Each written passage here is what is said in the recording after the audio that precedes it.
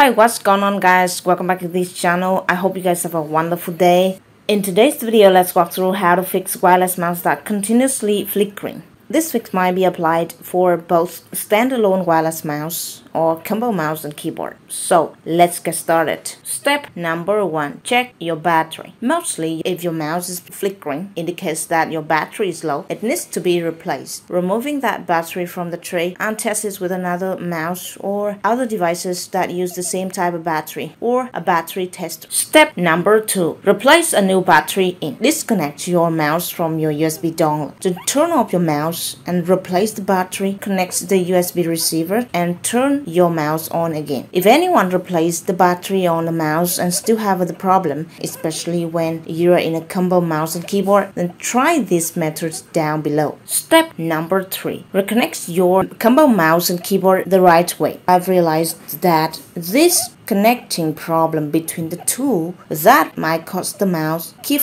flickering and here's how to fix it. First, remove the USB receiver from your port. Next, turn off your wireless mouse and remove the battery. Next, turn off your keyboard and remove the battery. Now, this is the important notice that I've found on combo mouse and keyboard. You always have to connect the keyboard first before connecting the mouse to its dongle. As per this rule, we need to put the battery back into the keyboard first. Then plug the USB receiver back in. Now turn on the keyboard first. Now check if your keyboard starts working or not. After it's connected, now let's put the battery back in the mouse and turn it on again. Voila! I've found this solution works pretty well on my combo mouse and keyboard. If this solution doesn't work for you, then let's go to the way down below. Step number 4. Update your mouse driver. So just press on Windows key plus X and choose Device Manager. Next, right click on the mouse settings and choose Update Drivers. Remember to restart your laptop after the driver updated. And that's it for today's video guys. Thanks for watching. See you in the next videos. Bye for now. não?